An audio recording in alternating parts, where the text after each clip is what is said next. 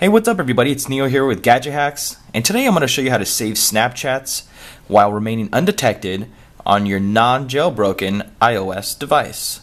So this works for iPhone, but I will be doing the tutorial with an iPad. It's a lot bigger, so you'll have a better look at it. We're going to be using a free application. It's called SnapKeep. So go ahead and install that from the App Store to get started. Now, SnapKeep will require you to sign in with your Snapchat credentials. So anytime you use SnapKeep, you will be signed out of your Snapchat application. Not a big deal, you'll just have to sign back in. So I'm going to go ahead and log in. Now up top you have your three basic tabs. You have snaps, you have stories, you have options. Now stories needs to be unlocked. Let's show you one real quick. So I try to open one. It's actually a premium feature. So with 99 cents you can do a favor to the developer and contribute.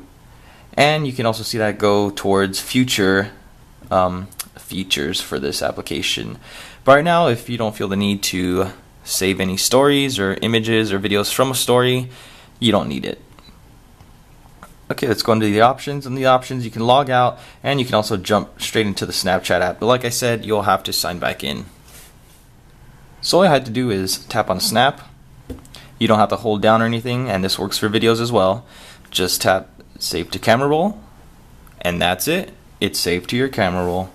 Want to make sure? Let's go back. Let's go to Photos, Recently Added, and there you go. It's pretty simple, it's straightforward, and there's not really much to, to learn. One thing you may want to do is I call it covering your ass because it can be a little suspect when your friends figure out that you're not opening their chats. Maybe your friends don't care, but if you actually view it in here, it will not say that it's viewed on your friend's device or Snapchat app. So go back into Snapchat and just make sure to view it just to cover your ass. But if you don't feel the need to do that, don't worry about it. Anyways, don't forget to check out the full guide. Don't forget to like, comment, hit that subscribe button for some more awesome, convenient, and pretty useful gadget hack videos. Thanks, guys.